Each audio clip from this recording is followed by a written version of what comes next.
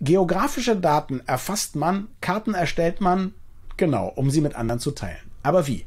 Heute lernen Sie mit dem ArcGIS Experience Builder die, abgesehen vom Selbstprogrammieren, flexibelste Methode dazu kennen. Ich freue mich auf die Session von Sonja Pritchett, Product Manager für ArcGIS App Builder. Sonja, bitteschön. Vielen Dank, Daniel. Ja, ich freue mich darauf, dass ich Ihnen in den nächsten 20 Minuten den ArcGIS Experience Builder vorstellen darf. Ich werde Ihnen eine Reihe von Beispielen zeigen, auch mal kurze Einführung in die Oberfläche, aber vor allem möchte ich Ihnen die Neuerungen vorstellen, die in letzter Zeit dazugekommen sind. Seit der Einführung vor ungefähr einem Jahr kam da nämlich eine ganze Reihe an Verbesserungen und Neuerungen dazu und ja, die möchte ich Ihnen gerne vorstellen. Aber was ist der Experience Builder überhaupt? Was unterscheidet ihn auch von anderen App-Bildern? Der Name, der ist beim Experience Builder so ein bisschen Programm. Er ermöglicht es, tolle, sehr individuelle, kartenbasierte Web-Anwendungen zu erschaffen. Und wenn andere ArcGIS-App-Bilder vielleicht, was das Design und das Layout an, angeht, an ihre Grenzen kommen, dann ist beim Experience Builder dann noch lange nicht Schluss. Es geht also um mehr als nur klassische kartenzentrische Web-Apps zu erstellen. Es geht vielmehr darum, überzeugende Weberlebnisse für das Zielpublikum zu schaffen. Ob das auf einem festen Bildschirm oder auf einem scrollbaren Bildschirm sein soll, ob das mit 2D oder mit 3D-Karten auf einem einzelnen, auf einer einzelnen Seite oder über mehrere Webseiten sein soll, das ist alles möglich. Beim Experience Builder kann ich mit den mitgelieferten Vorlagen und Widgets ganz einfach loslegen. Ich muss also kein Programmierer sein und ich muss keine Zeile Code anfassen, weil man die Anwendung über die Oberfläche einfach zusammenklicken kann. Aber es gibt auch eine Developer Edition. Das heißt, Sie können also auch Ihre eigenen Widgets programmieren und die dann nutzen. Die Flexibilität, die steht dabei wirklich an oberster Stelle. Das heißt, die Ersteller, die haben dabei vollständige Kontrolle über das Layout und die einzelnen Designelemente. Und man kann nicht nur definieren, wie die Anwendung auf dem Desktop aussehen soll, sondern auch, wie sie auf einem Tablet oder auf einem Smartphone aussehen sollen. Also man kann sie für die mobile Nutzung optimieren. Der Experience Builder, der ist in Arcus Online und in Enterprise integriert. Wenn Sie also einen User vom Type Creator oder höher haben, dann können Sie ganz einfach damit starten und eigene Webanwendungen erstellen. Das Thema Integration, das bezieht sich aber auch auf andere Apps. Ich kann andere Apps wie zum Beispiel Survey 123 ganz einfach in die Experience Builder Anwendung integrieren. Und die einzelnen Komponenten, die lassen sich auch koppeln. Sie können sich zum Beispiel gegenseitig ansprechen und gegenseitig Aktionen auslösen. Das Ziel ist hier eine überzeugende Webanwendung, ein überzeugendes Weberlebnis für das Publikum zu schaffen. Der Experience Builder, der ist zwar relativ neu, gibt in erst seit gut einem Jahr, aber trotzdem gibt es schon eine ganze Reihe an Anwendungen in Axe Online, und zwar über 50.000. Und das können ganz unterschiedliche Nutzungen sein. Man kann damit ganz klassische kartenzentrische Anwendungen erstellen, aber eben auch eher erzählende Webanwendungen über mehrere, Webse über mehrere Webseiten hinweg. Und ähm, Portale kann man erstellen, 3D-Anwendungen kann man integrieren, Survey kann man integrieren. Da stehen einem also wirklich alle Möglichkeiten offen und ich möchte Ihnen gerne ein paar schöne Beispiele zeigen. Hier zum Beispiel der coole Stadtplan der Stadt Gießen. Hier findet man kühle Orte für heiße Sommertage. Also zum Beispiel erfrischende Brunnen oder kühle Parkanlagen oder auch die Möglichkeiten, wo man seine Wasserflasche auffüllen kann. Und hier interagiert die Karte zusammen mit der Liste. Das heißt, immer nur das, was in der Karte angezeigt wird, sehe ich auch in der Liste.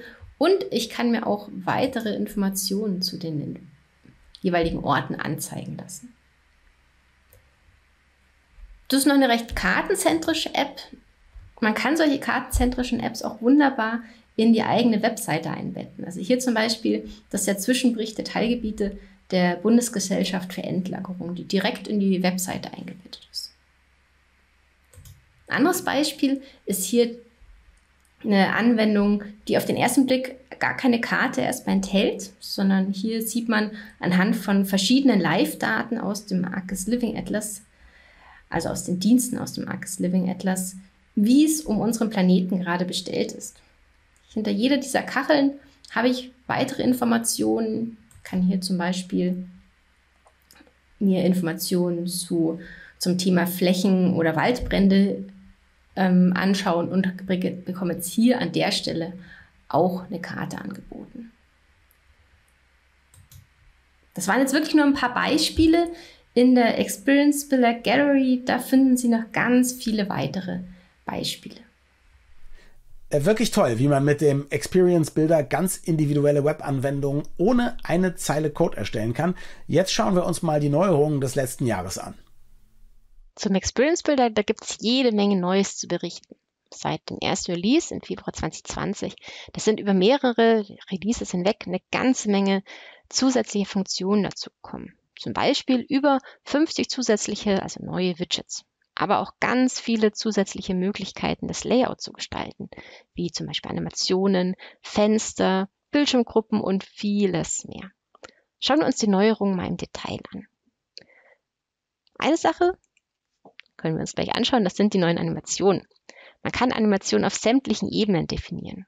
Für alle Widgets einer Seite gemeinsam, wie es hier passiert ist, aber auch für einzelne Widgets für einzelne Schaltflächen individuell. Und zwar unter Styles habe ich hier immer einen Animationenbereich und den kann ich unterschiedlich gestalten. Eine weitere Neuerung sind die Fenster. Fenster, die kann ich neben den Seiten, die es ja von Anfang an gibt, schon definieren und ich kann damit Warnungen anzeigen, Bestätigungen und getriggert werden sie entweder wie hier, zum Beispiel über ein bestehendes Widget oder Sie können auch durch das Laden einer Seite getriggert werden. Die Fenster, die sind aber nicht das einzige neue Layout, die einzige neue Layout-Option. Schauen wir uns mal die weiteren Neuerungen an, die man für das Layout von Experience Builder Apps nutzen. Hier sehen wir jetzt nochmal ein Beispiel für ein Fenster. Fenster, in dem Fall ein Fenster, das über die Seite selbst fest verankert ist. Das heißt, immer wenn die Seite geladen wird, wird auch das Fenster geladen.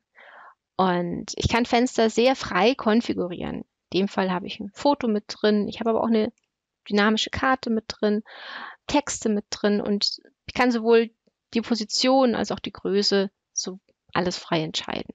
Und ich kann auch entscheiden, ob ich solche Abfragen drin haben möchte oder eben nicht. Zu den Animationen haben wir auch schon ein bisschen was gehört, aber in dem Fall auch nochmal ein schönes Beispiel, wie ich Animationen nutzen kann, um den Übergang bei Ansichten zu konfigurieren. Ich habe zum Beispiel in dem Fall einen Übergang über einen Würfel gewählt. Aber ich könnte natürlich das Ganze auch als Box ablaufen lassen oder es reinschieben. Aber ich bleibe mal beim Würfel, das gefällt mir am besten. Eine weitere Möglichkeit, um mehr Bewegung in eine Experience Build App reinzubekommen, sind Bildschirmgruppen. Und Bildschirmgruppen, das ist eine neue Art von Layout-Container mit mehreren Bildschirmen, also mehreren Abschnitten. Und man kann damit auf einer Bildlaufseite, also eine Seite zum Scrollen, die Inhalte und die Widgets schön organisieren. Kann also auf jedem Bildschirm, der verfügt immer über eine Hauptanzeige im Hintergrund und ein Fenster mit Bildlauf, das darüber läuft. Das also in dem Fall hier die kleinen Fotos und der Text laufen über das große Foto im Hintergrund.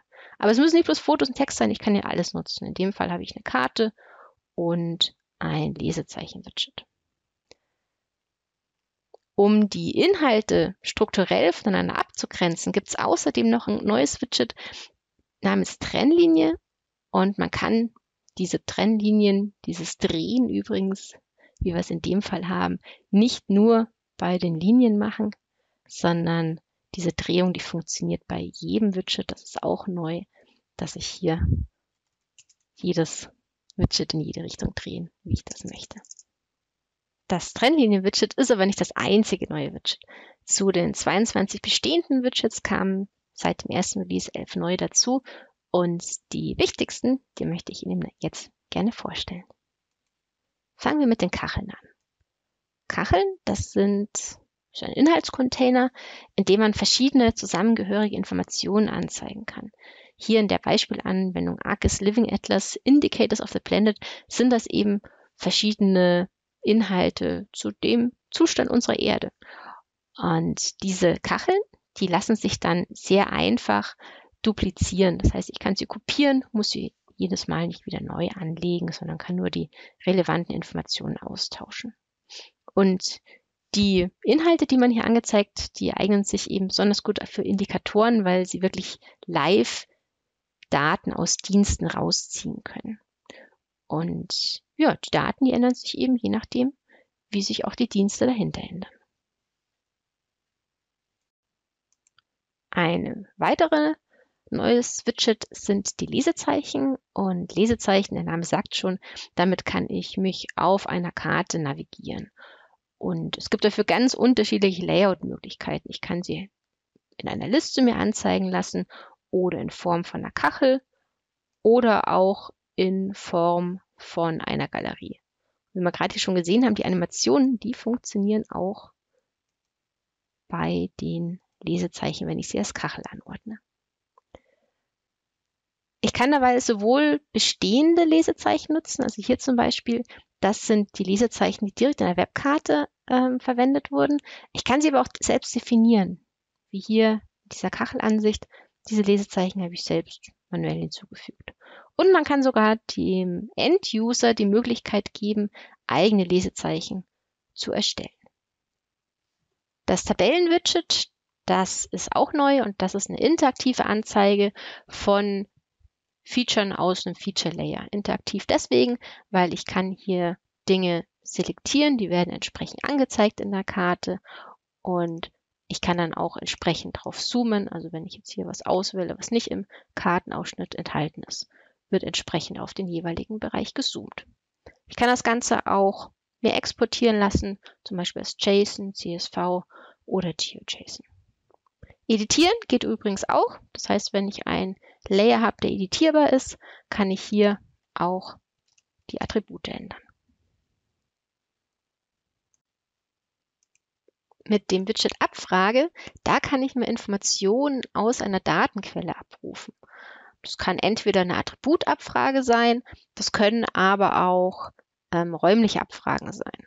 Schauen wir uns hier mal die Abfrage an. Also über den SQL-Ausdruck habe ich die Möglichkeit zu sagen, ich möchte zum Beispiel nur die Sehenswürdigkeit von einem bestimmten Tag oder ich möchte auch nur bestimmte Kategorien sehen. Und ich kann aber auch räumliche Filter definieren. Das kann entweder nach, ähm, dass ich nach etwas Bestimmten filtere, nach einem bestimmten, ähm, nach der Ausdehnung der Karte zum Beispiel oder nach etwas Eingezeichneten oder auch nach einer Geometrie aus einer Karte verwendet. Wenn ich das Ganze verwenden möchte, kann ich zum Beispiel hier etwas reinzeichnen, um zu selektieren, ich möchte den räumlichen Bereich haben und ich möchte zum Beispiel nur die Sehenswürdigkeiten bekommen. Klicke dann auf Übernehmen und bekomme die jeweiligen Sehenswürdigkeiten in einer Übersichtliste zurückgegeben.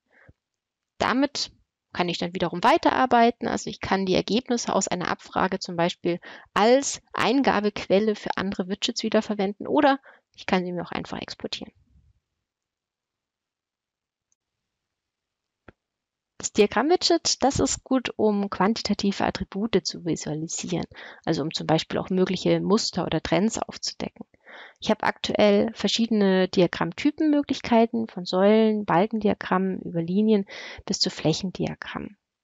Wenn ich ein Diagramm erstelle, muss ich mir zuerst Gedanken über die Daten machen, ob ich sie nach einer Gruppe oder nach einem Feld visualisieren möchte und auch nach welchen Attributen ich überhaupt visualisieren möchte natürlich. Und ich habe ganz viele Möglichkeiten, wie ich das Aussehen konfigurieren können. Also ich kann wirklich jede Art von Element in seiner Farbe ähm, und Form ändern und ich kann auch die ganzen Symbole entsprechend anpassen. Die ganzen Diagramme wirken auch mit der Karte, ähm, ja, reagieren auch mit der Karte. Das heißt, wenn ich in ein Diagramm reinklicke, dann zieht sie oben, dann blinkt es zum Beispiel. Oder ich kann auch entsprechend filtern. Das heißt, wenn ich auf ins Diagramm reinklicke, bekomme ich ein Ergebnis raus und ich kann mir die Ergebnisse aus einem Diagramm auch zum Beispiel in einer Tabelle anzeigen lassen. Mit dem Widget Koordinatenkonvertierung kann ich genau das machen. Also ich kann Koordinaten zwischen verschiedenen Koordinatensystemen konvertieren unter Verwendung von verschiedenen Schreibweisen. Also ich kann zum Beispiel nach einer Adresse suchen und dann wird mir die in verschiedenen Koordinatensystemen angezeigt. Ich kann aber auch einfach in die Karte hinein klicken und bekomme dann die entsprechenden Koordinaten oder auch Adressen in dem Fall zurückgegeben. Mit dem Widget Suchen, das erlaubt die Suche nach Features oder auch Positionen auf Grundlage von bestimmten Layern oder Locators. Das heißt, ich kann hier sowohl die bestehenden ähm, Geocoding Services einbinden, aber eben auch eigene Feature Layer, nach denen ich suchen möchte. Wenn ich jetzt zum Beispiel hier in Schottland mal nach Sky suche, dann findet er zum einen eine ganze Menge an Orten über den World Geocoding Service, aber er findet eben auch meinen Schottland POI, mein Museum auf Sky und zeigt mir das entsprechende Objekt dann in der Karte an.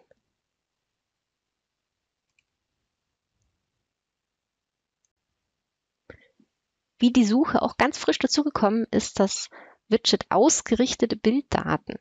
Und damit kann man mit Bilddaten interagieren, kann sie visualisieren und zwar auch Bilddaten mit einem beliebigen Aufnahmewinkel, zum Beispiel Schrägluftbilder, Straßenansichten oder und Untersuchungsbilddaten über 360 Grad Bilder und das Ganze in 2D, also auch in 3D sichten. Und ich kann zum einen mir sind nicht nur die Bilddaten anzeigen lassen. Das heißt, ich habe jetzt hier das Grüne, das sind die Footprints und die mal ausschalte hier, das Rosane, das ist jeweils der Footprint von dem jeweils einzelnen Bild, sondern ich kann mir das Ganze auch mit Feature-Layern verschneiden. Das heißt, wenn ich in dem Fall habe ich eine, eine Pipeline und um die zu inspizieren, ist es ganz gut zu wissen, wo geht die denn im Bild lang, im jeweiligen Luftbild. Und ich kann mir die also anzeigen lassen. Und ich kann mir sogar auch ähm, Layer anzeigen lassen, die editierbar sind und kann die dann auch entsprechend editieren.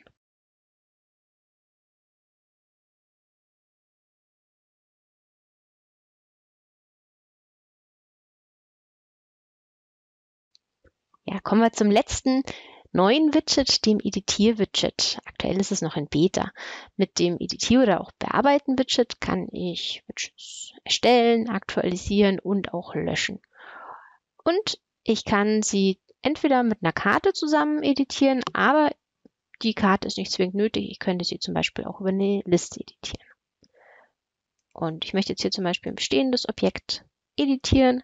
Das heißt, ich wähle das Objekt aus und könnte jetzt hier zum Beispiel die Dauer anpassen dauert nicht drei, sondern vier Stunden die Wanderung, kann das dann aktualisieren und ich könnte natürlich auch entsprechend die Geometrie anpassen, wenn ich weiß, die war ein bisschen anders, wie sie üblich eingezeichnet war. Und ich kann nicht nur bestehende editieren, sondern ich kann natürlich auch neue hinzufügen. Und ich kann das Snapping verwenden, wenn ich es möchte. Aber ich muss es nicht verwerfe das Feature jetzt mal wieder. Wenn ich hier zurückgehe, könnte ich das Fangen aufs eigene selbst fangen und auch das Fangen von anderen Features entsprechend wieder ausschalten. Ja, es sind noch nicht nur neue Widgets hinzugekommen, sondern es gab natürlich auch eine ganze Reihe weiterer Neuerungen, zum Teil zu den bestehenden Widgets, zum Teil auch unabhängig von den Widgets. Und selbst bei sowas Profanem wie einem Text-Widget konnte man noch etwas verbessern. Es gibt zum einen solche Übergangseffekte, das heißt, wenn der Text nicht in den jeweiligen Kasten reinpasst, dann wird mir das hier angezeigt mit diesen Pfeilen. Und es gibt auch eine neue Einheit, abgekürzt VW. Das steht für View Width, also die Breite des Textes, die steht in Relation zur Fenstergröße. Wenn ich die jetzt hier zum Beispiel mal einiges größer mache, dann wird auch der Text entsprechend größer angezeigt. Und wenn ich es wieder kleiner mache, wird auch der Text entsprechend kleiner. Beim Bildwidget, da kam dazu, dass Bilder, wie jetzt hier zum Beispiel in der Liste, dass die unter anderem auch als Anlage hinzugefügt werden können. Also wenn ich hier zum Beispiel auf das Bild gehe, dann habe ich hier nicht nur die klassische Möglichkeit, das über Attribute zu machen, sondern ich kann das zum Beispiel eben auch über ein Attachment aus dem jeweiligen Feature anzeigen.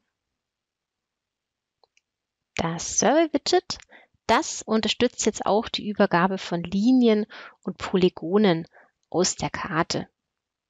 Davor, da konnte ich nur definieren, dass Punktdaten an den Survey gesendet werden sollen.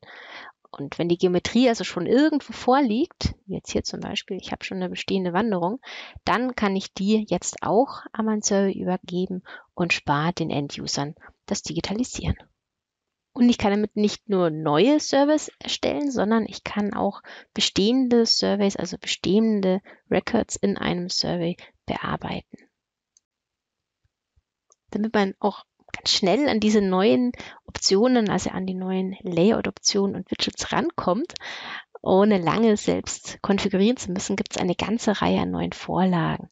Also zum Beispiel den Monitor, um mit Diagrammen zu arbeiten oder zum Beispiel Parallaxe für Bildschirmgruppen. Es gibt auch einige neue hilfreiche Ressourcen, worüber Sie sich über den Experience Builder ganz im Allgemeinen, aber auch speziell zu den Neuerungen informieren können. Hier unten finden Sie über das Fragezeichen, da finden Sie zum einen die Hilfe und aber auch eine Übersicht über die jeweiligen Neuerungen aus dem letzten Release.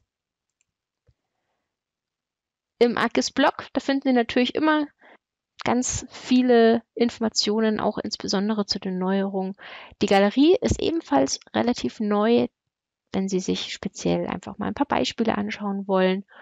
Und was ich Ihnen besonders ans Herz legen möchte, ist eine neue Lektion, ein neuer Lernpfad, der ja, Sie dabei unterstützen kann, die ersten Schritte mit dem Experience Builder selbst zu gehen.